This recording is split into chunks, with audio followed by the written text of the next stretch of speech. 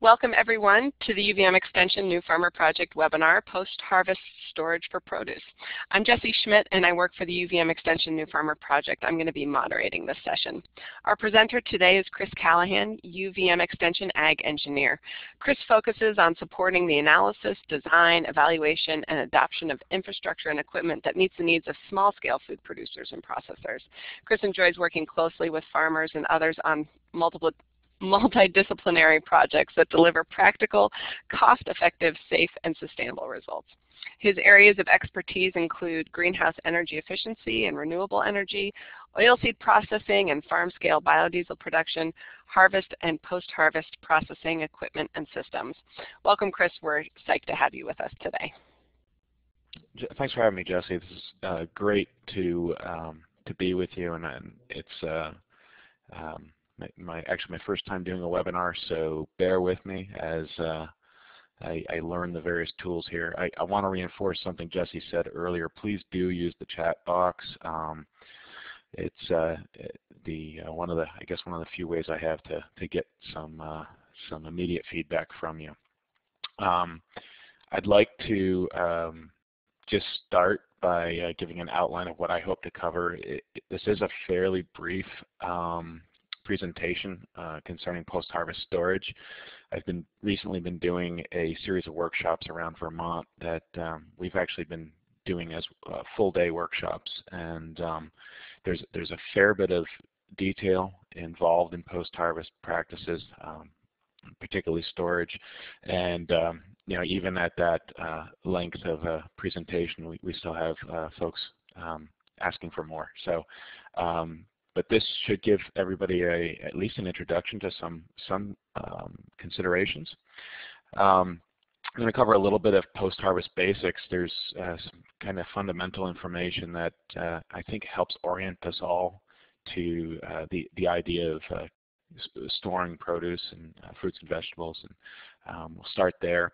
I'm going to then take a look at four crops in particular that are very common winter storage crops, and carrots, onions, potatoes, and cabbage. And I like using these crops because they really demonstrate um, some of the, uh, the important aspects that are involved in post-harvest storage uh, considerations. Then I'm going to take also a look at um, some different systems uh, that are available, and that's, that really is you know a combination of equipment and uh, controls, and then also talk a bit about monitoring. Um, at the end of the um, the PowerPoint portion of this, I, I do want to walk. Uh, I want I want you to um, want to introduce you to some web uh, resources that we've collected um, that others have found uh, to be valuable. But to get started, um, let's just uh, to get everybody comfortable with the using the chat box and uh, interacting on the webinar if you could all just enter you know, one or two words in the chat box that um, summarizes why uh, storage uh, is, is important to you in, in, in your operation.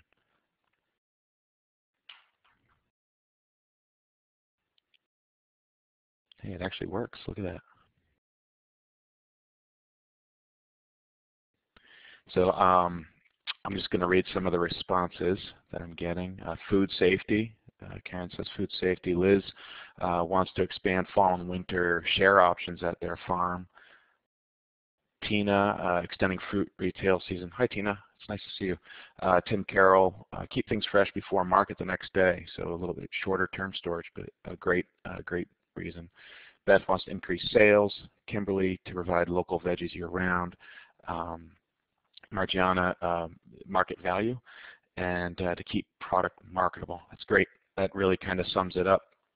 Um, yeah, another another way to think about it uh, is okay. So now we've we've grown something. Now what, right? And usually we're we're faced with we've grown it. Now we got to sell it. Um, and there is this intermediate step here of uh, not, not only post-harvest rinsing or um, packing, but also storage. And that's what we're going to talk about today. And one of the key things um, from my perspective is by, by the time you've harvested a crop, almost all of your costs are sunk into that. So um, it really is a matter of how do we preserve that quality, uh, the quality of, the, of what you've grown and harvested and cared so carefully for. Um, and we want to, how do we preserve the quality of that? And one of the key things is, is making sure we're paying attention to details in storage. So we'll talk a little bit about that. And the, the other aspect here is um, you certainly can store um, produce, what I'll say, I'll say suboptimally. Um, and you know, we, we've done that for centuries. Um, there's lots of good examples of very um, low tech and, uh, solutions that, that work quite well. But there, there is this uh, potential to really reduce waste in culling um, when you pack out of storage, for example. And um, we'll, we'll, talk a little bit about some of the, the details involved there. Um, and then as a number of people have mentioned in, in the chat box, uh, this is an opportunity for both market and season expansion.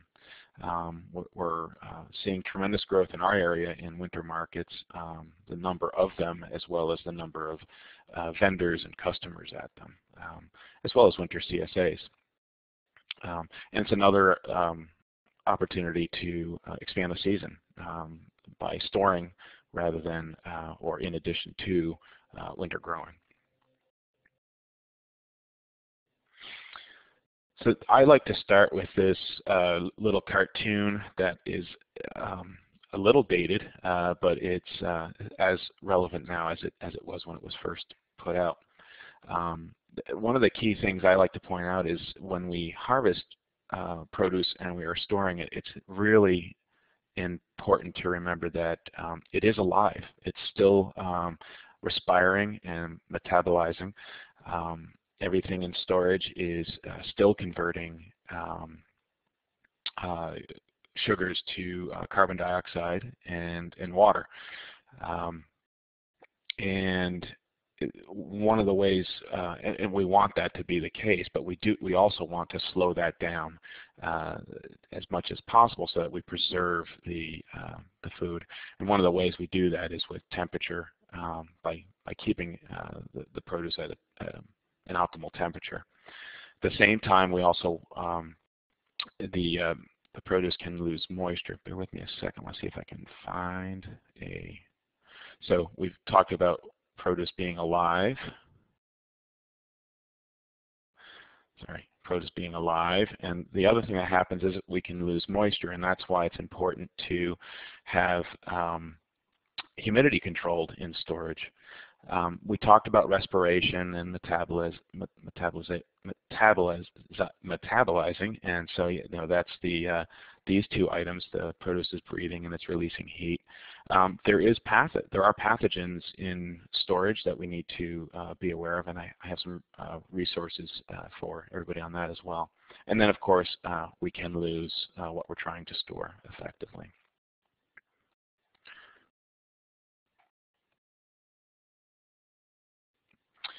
So stored crops are, are still alive. Um, and um, this is a, an example of how uh, shelf life for sort of a generalized crop is um, affected by storage temperature. Um, there is this pretty um, uh, pretty significant uh, bend in the curve um, below 50 degrees, and that's why a lot of our storage conditions are um, are, are below that and this varies um, by the crop, which we'll, we'll talk about in a moment. Jesse, can you remind me how I get a pointer? Oh, there it is. Can everybody see that? So just remember you no, have... I, I need to click. Yeah, there you go. Hold your... Uh, sorry, folks. All right. Um, so what, what can happen in storage? Um, a lot of what we're trying to do is prevent tissue damage um, as a result of either chilling or freezing. Uh, some of this can can happen because of say mechanical damage during uh, harvest uh, or during uh, rinsing or packing. Um, it can also vary over the body of the of the plant, and so one of the things we want to always be looking for is um, uh, this, the signs of this of this uh, injury or damage, and um, make sure that it's not a result of uh, the storage conditions, the temperature or humidity. Um, there's also uh, an interesting thing that happens with produce where the minimum storage temperature is not the same as the um, typical freezing temperature we associate with water. A lot of um, um, crops can are ideally stored at at 32 degrees Fahrenheit, which uh, normally would would freeze water. But because of the the composition of of the plant and uh, the fact that it's still um, metabolizing, uh, we're uh, we're not going to freeze it. Um, the other thing that can happen is uh, desiccation or drying. Um, remember, we're we're keeping things cool using cold air.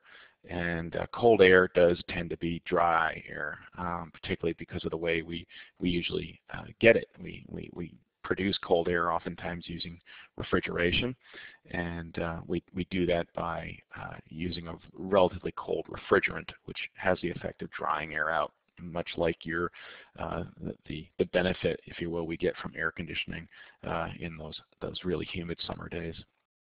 Um, there's also heat that comes about from that respiration of the, of the plant, and that can create local spots of relatively high temperature in, for example, a bulk bin.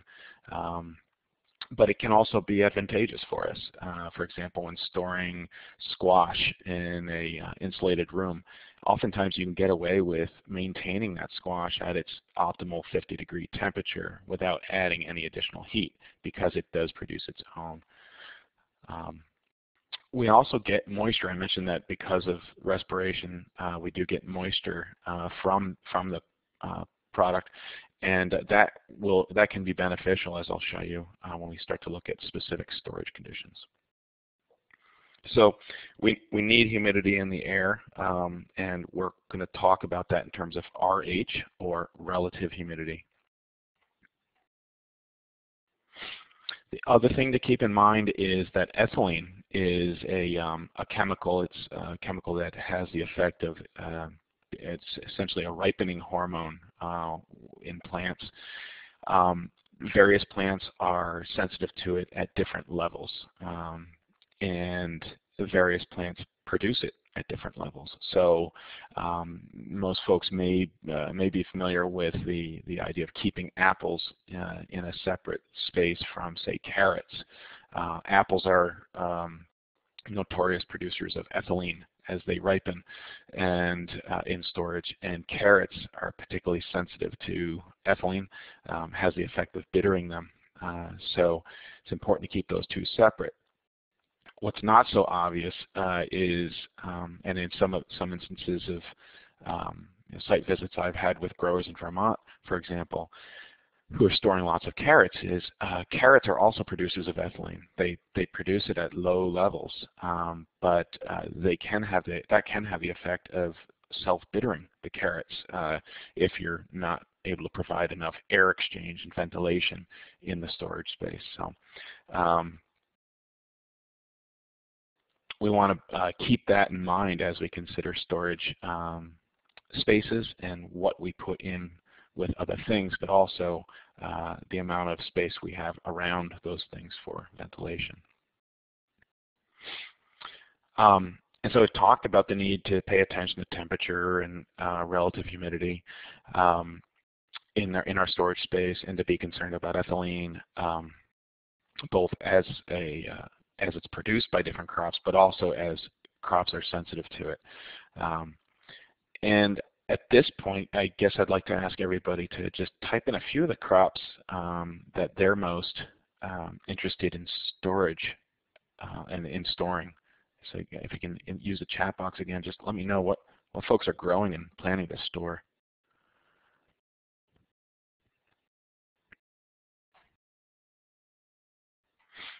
So I see beets, garlic, winter squash, potatoes, garlic, potatoes, garlic, carrots, potato, garlic, squash, carrots, onions, apples, kiwi, pears, Asian pears, persimmons, uh, potatoes, sweet potatoes, basil, thyme, sage, sweet potatoes, beets, carrots, carrots, winter squash, onions. So a lot of these uh, things are winter storage crops um, and greens for a limited time, a few weeks. Okay uh, sorry, tomatoes and squash, and celeriac. Great. Thanks everybody for participating. That's awesome. Um, the um, one of the best references we have for understanding what conditions we should be storing things at is the USDA Handbook 66 that's pictured here in its print form. Uh, which actually it hasn't been printed since 1986. Um, here at UVM, we actually continue reprinting this on our own um, to have a, uh, a print version available. But I'm going to take a second and let's see here if I can do this. I want to take you to a website.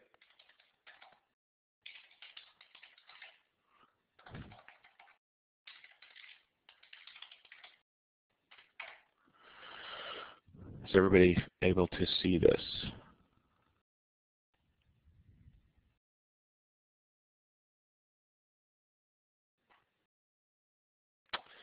Um, we able to do the, the checkbox? Looks good. Okay, thanks, Jesse. Um, so this is uh, my blog page. It's blog.uvm.edu slash CWCALLAH. Um, and if you go to crop storage resources on the left-hand side, this is a collection of resources that we've put together as, as a result of this workshop series we're doing.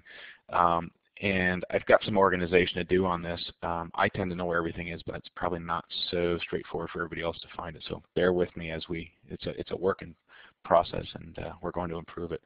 But one of the things, um, one of the sections here is conditions and practices. And the first link is USDA Handbook 66. So if we click on that, it brings us to um, the USDA, uh, the online version of the USDA Handbook 66. Yes, I'll paste the link in, bear with me. Uh, someone's asking if I, and then here is the link for Handbook 66. Sorry about that. Um, um, the uh, so this is the online version of Handbook 66, and I'm sorry, it opened in a different window. Bear with me.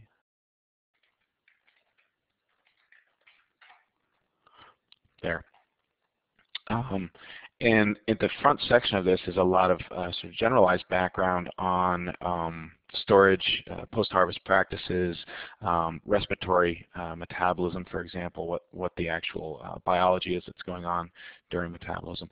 But as we scroll down, we see there are uh, crop-specific summaries. So there was a lot of garlic mentioned in the chat box, so I'm going to go look at garlic.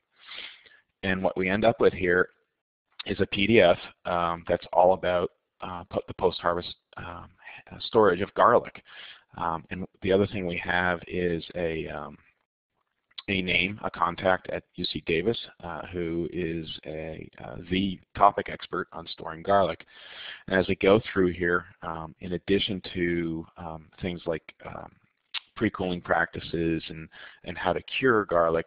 Uh, we also are presented with the optimum storage conditions for garlic. Um, and garlic is one where uh, there's highly variable practice uh, in terms of how people store it. Uh, some people never get it to um, never get it to a low temperature, for example, for storage. They they uh, they keep it at a relatively high temperature and and avoid that um, the uh, uh, the, the impact of the cold, um, which leads to if you then have a, a, a, temporary rise in temperature, the garlic might start to sprout. Uh, so, but this is uh, general general guidelines um, for uh, for storage. Also gets into things like controlled atmosphere, which um, not many uh, small or diversified growers uh, practice.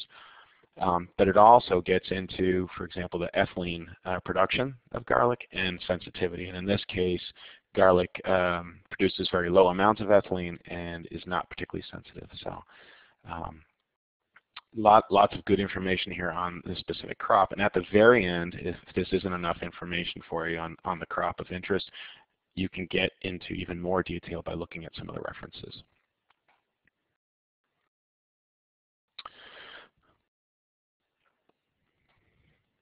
So this is um, what I've done on this next slide is take um, the information out of the um, Handbook 66 for four common crops that people are interested in, carrots, onions, potatoes, and cabbage, excuse me, and put it in a table form. And what I like about this is it it stresses the um, some of the differences in storage conditions for quote unquote optimal storage. If we look at carrots, for example, versus potatoes, these are both root vegetables, and oftentimes we uh, we think, well, they can be stored at in, in common spaces, and, and they can. But optimally, you know, speaking of optimal storage, carrots want to be at a lower temperature than potatoes, um, despite the fact that they, they both want to be at high uh, relative humidities, right? Um, and then the other thing that I've um, seen uh, in practice is potatoes and onions being stored together. And in that case, um, not only are the temperatures quite different, but look at the relative humidity guideline for onions. Uh, we're looking for a relatively dry room, 65 to 70 uh, percent relative humidity, and potatoes want to be uh, much higher. Um, the other thing that I think is interesting to look at is the ethylene production rate. And the, the specific units on this um, are, are not particularly uh, handy for, for most people, and it's, it's okay. The key thing to remember is none of these are zero. Um, so everything produces a certain amount of ethylene, and um, they can have an effect. For example, carrots are highly sensitive to ethylene, um, as is cabbage. And so if we store these in a sealed up container uh, without, you know, so say we put carrots in a in a non-perforated bag, um, there is um, there is good uh, science as well as anecdotal evidence that suggests it's going to lead to bittering because of this high ethylene sensitivity and the fact that it's a producer itself. Any questions at the moment? Just throw them in the chat box if you have something.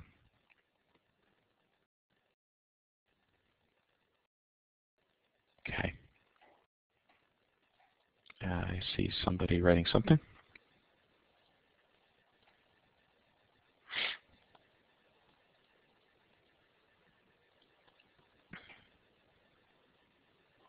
Um, Jesse, can you comment on how the slides will be handled following the webinar?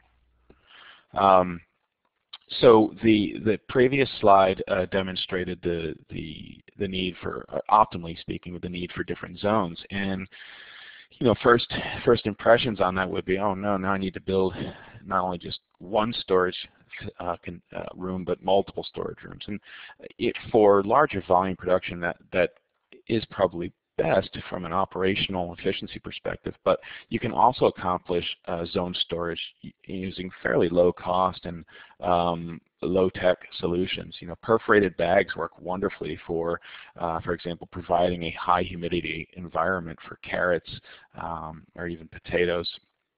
Um, you can use vapor barrier walls uh, in, say, say you have one uh, cooler that uh, is is cooled by a, a CoolBot, for example. You can um, have a uh, vapor barrier wall with just some perforations in it um, to uh, separate two zones, for example, one with high humidity and one with low. And yes, ultimately you, you can certainly build dedicated structures for the, the purpose of having different storage conditions. Um, the other thing I like to point out is some crops have very um, strict needs for uh, pre-cooling. Um, so once harvested, getting them to storage temperature as soon as possible, um, either uh, because you, you want to preserve quality or because your uh, customers are demanding it, for example. Um, and that may that may suggest a need for a, um, a dedicated zone for pre-cooling, or for sizing your, your refrigeration system to do that in addition to holding products at temperature. So when we talk about a cold room, uh, we're really talking about removing heat. Um, you know, we have uh, removing heat or um, um, uh, yeah, removing heat either from the product itself or um, the, the, heat gained from outside. For example, storing uh, something at 35 degrees when it's 80 degrees outside. Um, there's a question in the chat box, are there techniques for removing ethylene from the room? Yes, it's um, generally done by um, one of two ways, uh, either air exchange, which is to say ventilation of, of the room, which can be accomplished really just um, generally is accomplished by um, door openings through normal practice. Going in and out of the room to pack product in or pack it out will allow for some air exchange. Um, it, this, you want to make sure that there is sufficient room around the stored product inside the room so that uh, that air does get mixed uh, fairly well. Um, you can have dedicated ventilation fans as well. If let's say you, you have a large potato storage room or carrot storage room, um, that you're not going in and out of very frequently, maybe once a week, you may want to have some dedicated ventilation in there to do that job. Rule of thumb is three to five air changes per day uh, for the space. Um, so root cellaring is something that's been done for years. It's essentially what we're doing is um, you know getting below grade and using that relatively cool or stable temperature of the ground to um, keep our product at a stable temperature. Um, and then it also has the added benefit of, being a, a, source of humidity for the crop. Um, air exchange is something that also has been used uh, successfully for um, benefiting, for example, from co the cool outside air uh, when we have something we're trying to keep cool inside. Um, and that's uh, really a matter of having a fan that exchanges the, the air outside with the air inside. And it can be either manually controlled or you can put it on thermostatic controls using um, a refrigeration or heating thermostat.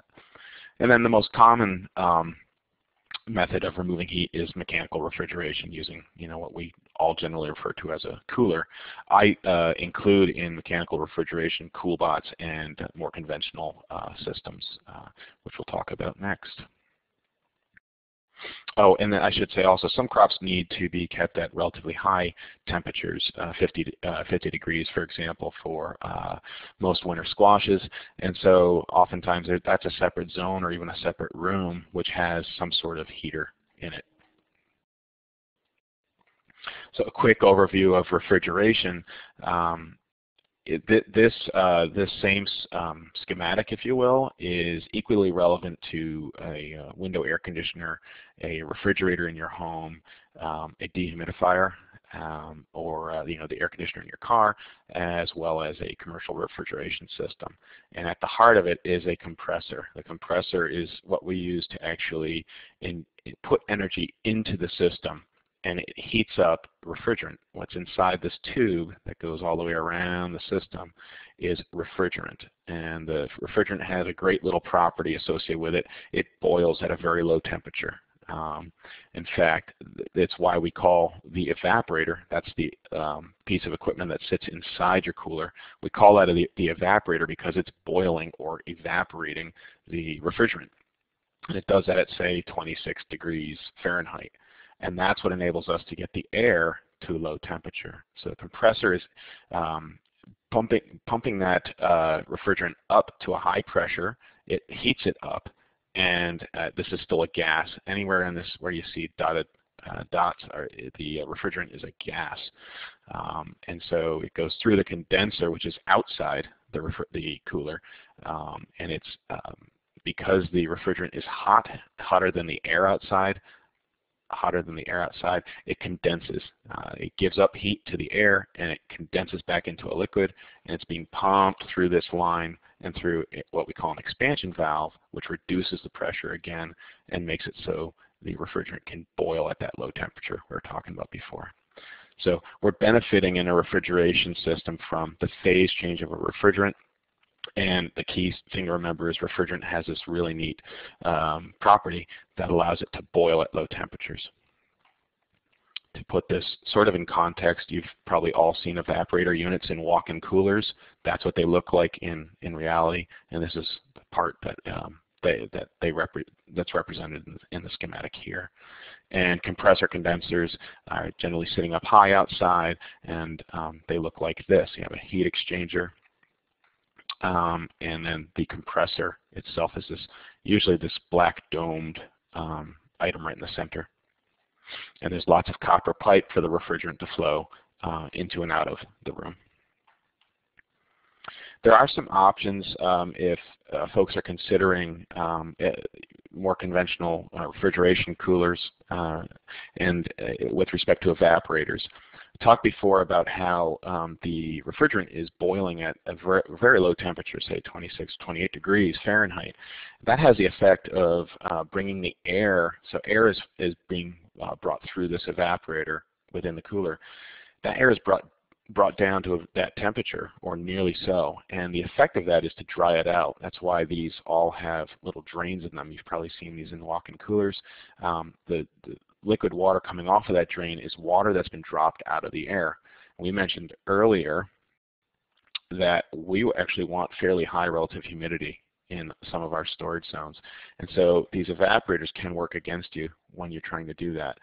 Um, one option is what's called a high humidity evaporator. Um, it's only um, it's a couple hundred dollars more for a typical, uh, say, 10 by 10 walk-in cooler um, to get a high humidity evaporator.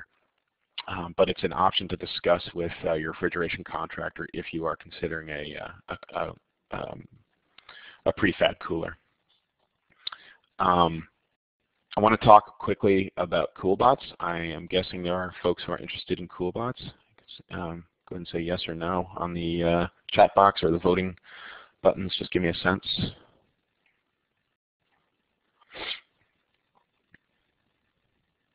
Not really. Yes, yes, yes.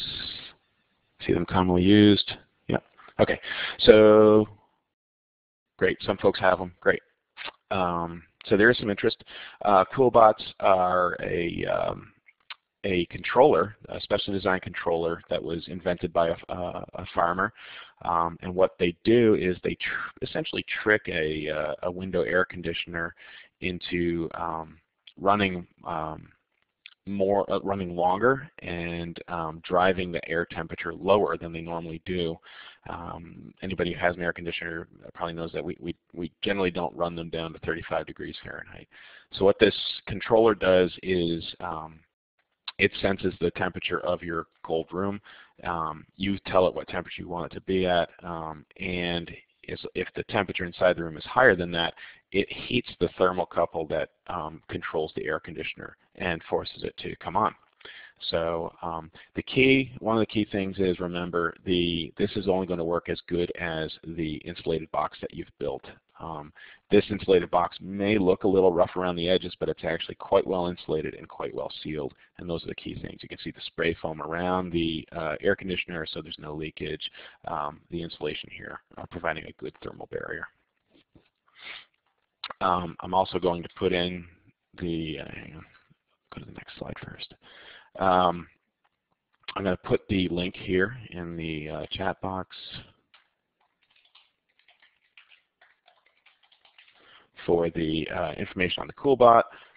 If you just search for CoolBot, you will get there as well. Um, the website is very informative. Um, the um, manufacturer is quite transparent about what their product is good for and what it is not good for, um, and they want to see it used successfully. Some of the, the key um, things that it has going for it is it's, it's a very low initial cost uh, refrigerated uh, space option. Um, it's easy to retrofit into existing spaces. Um, if you have some basic construction skills, uh, you can you can build a cold room and uh, an insulated box and get a, a, a CoolBot up and running fairly quickly. Um, there is a reported potential bene efficiency benefit. I'm going to speak to that in just a moment um, because I, I, don't necessarily agree with that uh, myself. Um, there are some downsides. It can be slow to pull down temperature. In other words, uh, to use use this as a pre-cooling option um, uh, for for produce uh, may be may be difficult um, to get the, the pre-cooling times that you're you're after. Uh, it's also slow, so for the same reason, slow to recover from rises in temperature within the the room. Um, these are, are ideally suited for holding something at temperature once it's there. So um, the other uh, downside is it uh, cools really to 35 degrees. That's sort of the minimum temperature that um, the uh, manufacturer um, is, is um, supportive of. The, uh, the question of uh, energy efficiency has been studied uh, by, uh, by a NYSERDA contractor. Um, Kelsey says your CoolBot gets down to 32 degrees. Um, that's interesting. How, how have you measured it, Kelsey?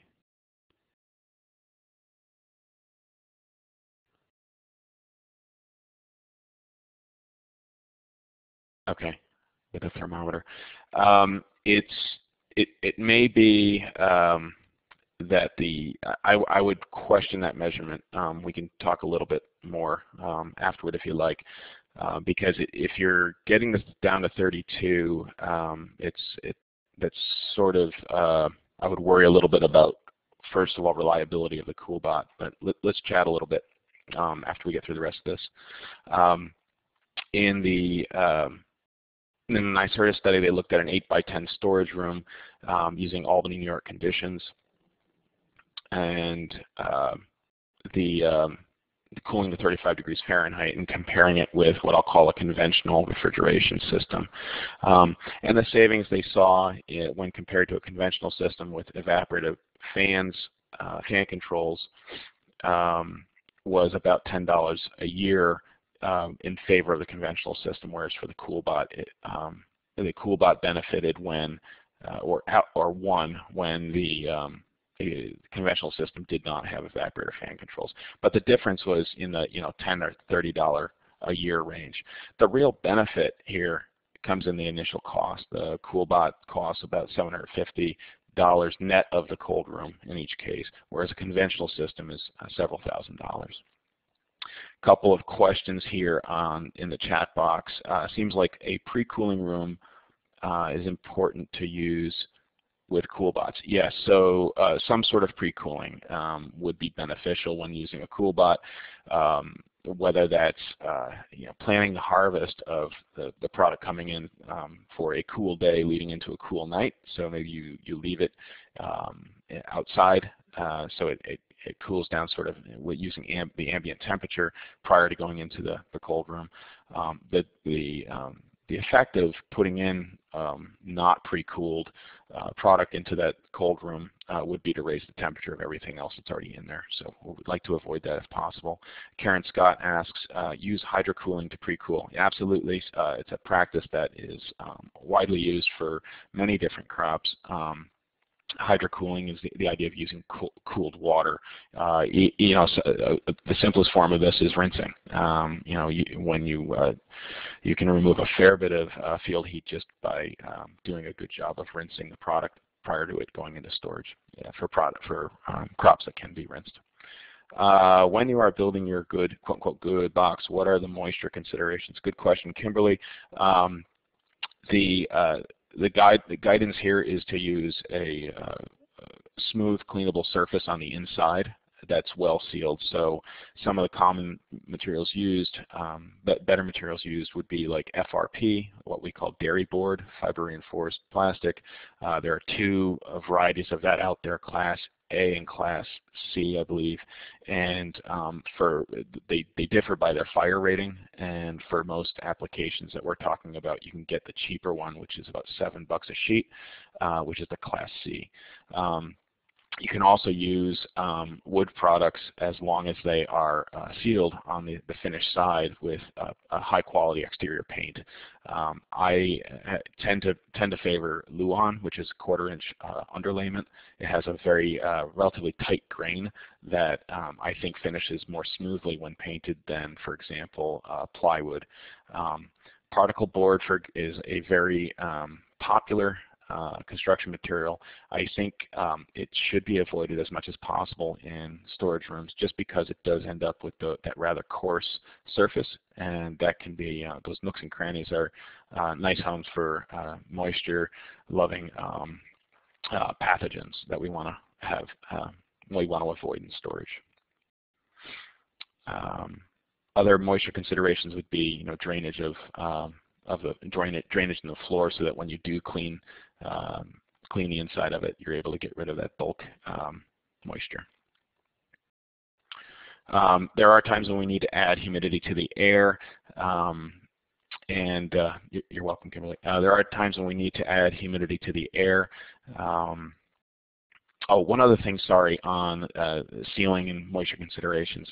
Um, any of the corners, um, you know, where the walls meet the floor, for example, or where walls meet each other, make sure those are sealed as well. Um, you know, both insulated uh, with with um, uh, gap filling uh, foam, but also uh, you know use a silicone um, uh, caulk or something in the corner where your finished layer meets meet each other to avoid moisture getting in behind um, that space.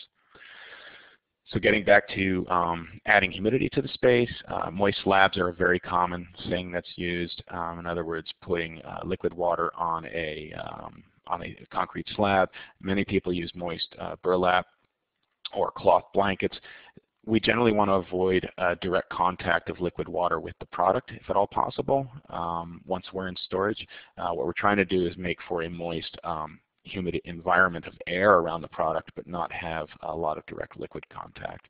Um, there are some more advanced options available uh, called foggers or nozzles, um, and they're fairly expensive, um, you know, on the order of several thousand dollars uh, to do the job. In higher moisture, sorry, higher temperature environments like potatoes, for example, where we're looking at 40 degrees Fahrenheit, you know, that's well away from freezing, really, and relative, high relative humidity. You could use something like a room uh, humidifier. Um, small little room humidifier. Um, they have models available now that um, uh, that um, have no moving parts, so that's something that's uh, nice from a reliability perspective. Karen, I see your question. Can a simple humidifier be used? Yes. Um, just want to talk briefly about controls. Um, one of the things I see when I'm out and about in, in the field, every uh, uh, cooler I walk into, I do a temperature check on, and um, I'm finding that thermostats are often 7 to 12 degrees, um, in, in, have 7 to 12 degrees of inaccuracy. That comes from a couple different things. One is, you know, a lot of them have these knobs for setting temperatures, and the range on these things is so wide that it makes it difficult to really get a good, precise setting. Um, you don't know if you're at 32 degrees or 36 degrees, for example. The other thing I find is they're just they're just inaccurate. Um, and so that's not a lost cause. It doesn't mean you need to replace your thermostat, but knowing uh, what the actual temperature is in the space is very important, and I'll have some ideas for, for that in just a minute. Um, the other thing I um, tend to suggest is go with a digital um, therm uh, thermostat. It's not that they're necessarily more accurate, but they do offer you precision in setting. Uh, you can set your thermostat um, more uh, more specifically. And they also um, they have these remote uh, sensing. Um, th this is a bulb and this is a thermocouple. Um, so I just said that uh, thermostats tend to be inaccurate, so, so what are we going to do? Well, I, am a big fan of having a known good um, measurement uh, plan, and I use something called a sling psychrometer, and what this is is two, thermo two thermometers on a um, uh, that's that actually swings around uh, what's being held here. And one of they're, they're, identical thermometers, except one has this little uh, uh, cotton wick that's around the bulb of it, um, and that gets moistened with water. And when you swing this sling psychrometer around, the bulb that has the moistened water around it um, starts to evaporate water into the air. And it's able to evaporate at a rate that's dictated by the relative humidity of the air. And so what we end up with is dry bulb temperature on the dry bulb and wet bulb temperature on the wet bulb. And I'm not sure if anybody's heard those terms before, but that's how we determine relative humidity is by comparing the, the dry bulb temperature to the wet bulb temperature. Um, this, uh, believe it or not, it really is still the, the sort of gold standard for measuring temperature and humidity. And those are two things we're, we're really interested in if we're talking about um, post-harvest storage. Um, so this is a uh, about a $30 item. Uh, a company called QA Supplies uh, has a, a, couple different options um, available for you to consider. Um, you also can get, for example, a calibrated wall-mounted um, combined uh, uh, hygrometer uh, thermostat. So this has humidity on the blue scale and temperature on the red scale. And this is um, a, actually a little more expensive than this. This is about an $80 um, item, but it is calibrated, so you know it's coming in with a, a good, accurate um, uh, measurement. So uh, Karen has asked, what is it called again? The, the item down here is called a sling psychrometer. Um, psychrom psychrometry is the um, study of um, water vapor in air. I'll put a link on uh, in a minute uh, for um, sources of these two things. It's a company called QA Supplies, um, but I don't have the link handy. Bear with me. Um, you can also do um, the, the other key key uh, part of this is you want to want to monitor and record your conditions to see if there's any trends in them. You know, is your temperature Thank you, Jesse, for putting QA supplies there. Is your temperature changing over time? Um, is your humidity changing over time? And that can help you determine whether you need to add more humidity or if you need to um, take a look at your, your cooling or heating. Um, I'm running up against 45 minutes and we're nearly done, so that's that's good. That'll leave us some time for questions. Um, I did also want to put a plug in for scouting. Um, everybody who's growing is probably intimately familiar with scouting for um, pests and diseases while, while you're growing. Um, I'm sorry to say it doesn't stop with storage. Um, so we want to do daily checks for spoilage or sprouting of crops. Um, it's also a good idea to have some pe different people perform the task. Uh, we, we do sort of become blind to certain things as we do it um, routinely, and it might be nice to vary it up a little bit. Um, and when pulling stored crops, check, uh, check other bins, and uh, again, checking for spoilage and sprouting. And use all five senses. Uh, you may not see the problem, but you may smell it or feel it, for example. And not a bad idea to taste your product once in a while. Um, one of the uh, most recent stories I have is, again, related to carrots. Um, uh, people, uh, this um, this one grower had some leftover non-perforated bags, put their carrots in those, uh, one, one batch of carrots in those and stored them in their cooler and then had uh, another batch in perforated bags um, not and they were they were uh, harvested the same day cleaned the same day and then put in storage the only difference being the two bags and uh, by tasting uh, carrots from each of those we were able to determine that the carrots that were in the non-perforated bags were bittering very quickly compared to the other ones. It's also important to scout the mechanicals, the uh, the cooler components, for example. The um, you want to look for for uh, any daylight uh, sneaking through when the doors are closed. Um, make sure the latches are closing uh, tightly. If you see um, on your condenser, even in the CoolBot applications, you see a lot of uh, dust collecting on the on the heat exchangers. That that's got to get cleaned off. Uh, the other thing I like to point out is noise is energy. If you hear uh, some, you know, these things are not quiet. We know that, but if you hear a change in the noise uh, coming from your your refrigeration system, that usually suggests that something has changed, and we want to have that addressed. I want to summarize. Uh, I'll leave this the list of technical references up for for you all. Um, these are some things that I, I use as references on a regular basis. The um, I use my own blog, believe it or not. I use that as a place to collect useful links. Um, so I suggest uh, taking a peek at that, including the, the crop resources uh, page we talked about earlier, Handbook 66, is available online, as we mentioned. The New England Vegetable Management Guide um, covers crops in uh, sort of a broader scope from um, planting and agronomy and uh, cultural practices, but there are some post-harvest uh, considerations provided there as well.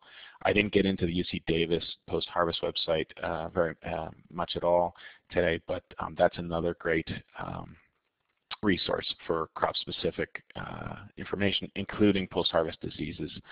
Um, and psychrometric charts and calculators, when using, um, if you if you, anybody gets into using a sling psychrometer and you have dry bulb and wet bulb as uh, data that you you know you read off of these these uh, thermometers, you can go to um, go to a, um, psychrometric calculator and determine all sorts of information about that air, um, like relative humidity, for example. Um, so I'm going to open it up for questions at this point. Jesse, do you have anything you wanted to add?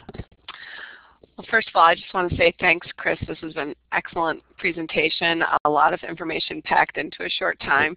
Um, if people need to uh, check yeah. out now and get on to other things, um, feel free. If you have some uh, questions, um, please tap, type them into the chat box. We do have um, five or 10 minutes here set aside for specific questions.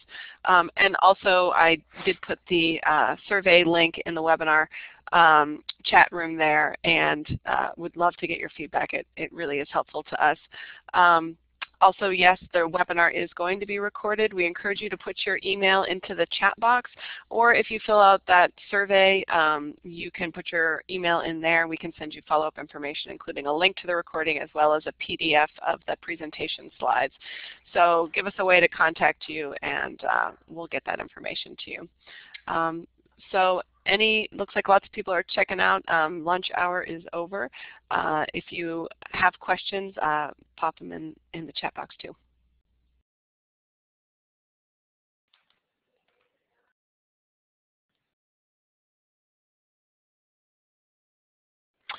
Uh, Liz asks, any low-tech recommendations for keeping a cooler humid?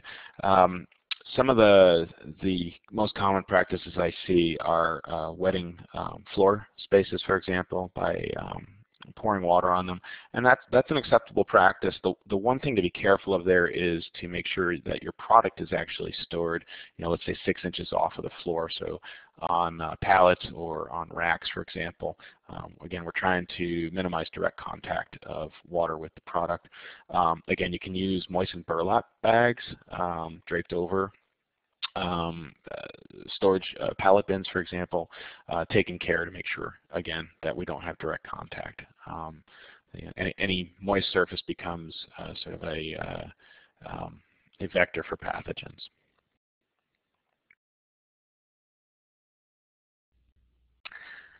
All right. Well, I think um, uh, we are all set here. So Chris, again, thanks. Um, it was great to have you. And uh, just a plug for our next webinar. Uh, it will be the third Thursday in November. Um, it's going to be focused on an introduction to raising rabbits for commercial meat production. So anybody interested in that, check back into our webinar page um, and you'll find information there about that upcoming webinar. Uh, so thanks again and have a good rest of the day, everybody. See ya. Thanks, Jess.